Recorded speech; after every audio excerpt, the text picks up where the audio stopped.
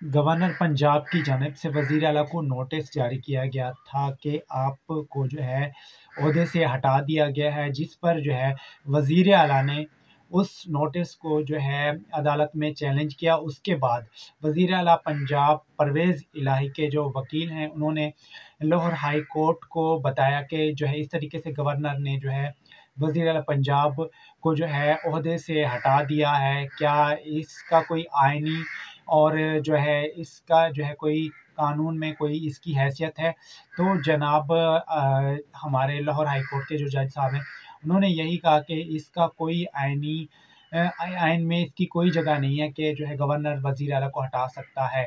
हम इस जो है नोटिस को कैंसिल कर देंगे इसको गैर आइनी करार दे देंगे। अगर गैर आइनी करार के दे करार देते हैं तो हम ऐसा ना हो कि वज़ीर अला साहब आज ही असम्बलियाँ जाके तोड़ दें। आज की डेट में। तो सूबा एक पंजाब बहुत बड़ा सूबा है तो इसमें जो है आइनी बहरान पैदा हो जाएगा, सियासी बहरान पैदा हो जाएगा और जो है फ़ौर वज़ी अला को नहीं बिठाया जा सकता। तो वज़ी अला वज़ीर अला जो परवेज़ इलाही साहब हैं, उनके वकील ने इस बात पर जो है अदालत से टाइम ले लिया कि मुझे वक्त दें ताकि मैं वज़ी अला से बातचीत करके दोबारा जो है मैं इस केस को आपको बता सकूँ कि आज की डेट में आप इसको कैंसिल कर देते हैं तो हम असम्बलियाँ तोड़ेंगे या नहीं तोड़ेंगे।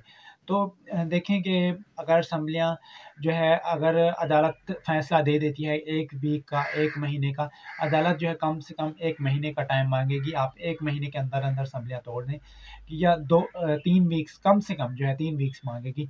तो कोई नहीं है ऐसा सीन के आज असम्बलियाँ टूट सकें या जो है जनवरी के पहले हफ़्ते में, दूसरे हफ़्ते में, तीसरे हमले, हफ़्ते में असम्बलियाँ तोड़ी जा सकती हैं। जनवरी के तीसरे हफ़्ते में असम्बलियाँ तोड़ी जा सकती हैं, क्योंकि अदालत टाइम मांगेगी और टाइम जब तक के जो है निगरान वज़ीर अला और इसी तरीके से निगरान हुकूमत का कोई जो है बंदोबस्त नहीं किया जा सकता।